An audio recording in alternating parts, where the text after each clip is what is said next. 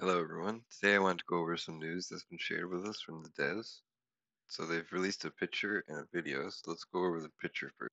So as you can probably tell from the picture, it says monitoring stand. So it looks like they added some functionality to the monitoring stand. On the side we see a bunch of different pals. It looks like pals at the base. Then it shows a number, 18 out of 20. And then next to that we see all the base skills that all the pals have.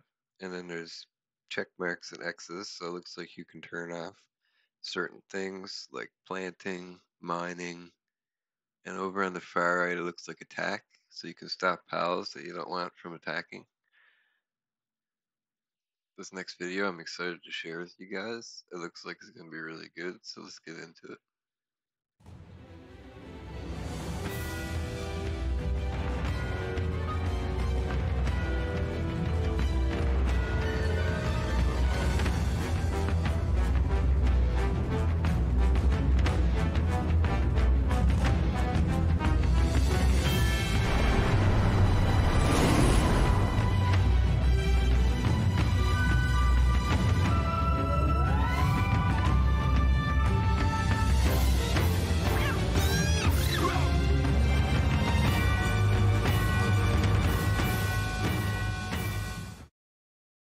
So let's break down what we just saw.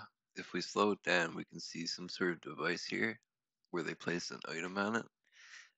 It looks like it's for summoning the boss, maybe. Then we see this new pal appear. And it says new pal and raid battle Bellanoir. So maybe we get to use her as a pal, not just fighter. When she spawns, all these shock waves come off her. It looks like a purple type of ability, maybe like dark. Hopefully we can see more soon, and I'll keep you guys updated. If you like this content, you want to see more, don't forget to like and subscribe, and I'll see you guys next time.